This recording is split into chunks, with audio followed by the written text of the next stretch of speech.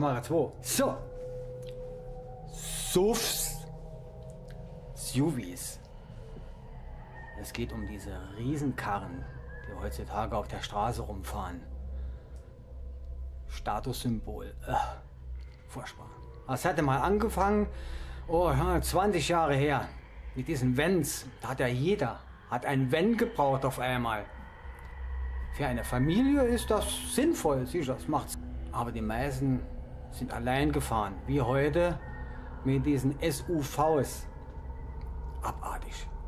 Die Geländewagen kann ich noch verstehen teilweise, wenn, wenn es jemand braucht. Wenn er auf der Wiese fährt oder mit Pferdeanhänger, sicher.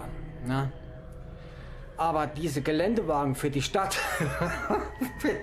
wie, Geländewagen für die Stadt. Also, aber abartig. Aber diese SUVs, SUVs, wie kann man solche großen Autos bauen? Das sind ja LKWs. Und in der Stadt, das ist gar nicht mehr zeitgemäß. Ich abartig, einfach nur abartig. Reines Statussymbol. Hauptsache, sie fahren mit einer Riesenkarre, die womöglich noch einiges verbraucht. An Benzin, ist klar. Und äh, das sind ja unter anderem sind ja, ja Wagen, ich will ja keine Marken nennen.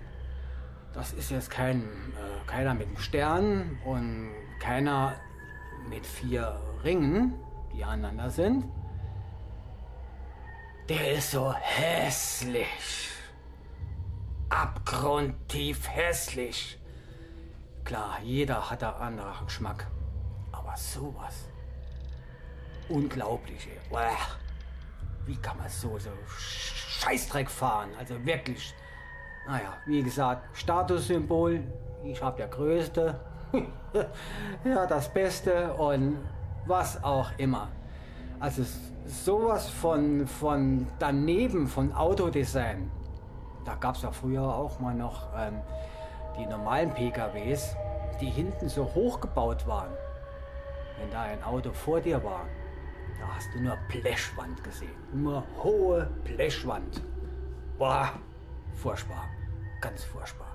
Gut, wie gesagt, es hat jemand, jeder hat äh, seinen eigenen Geschmack.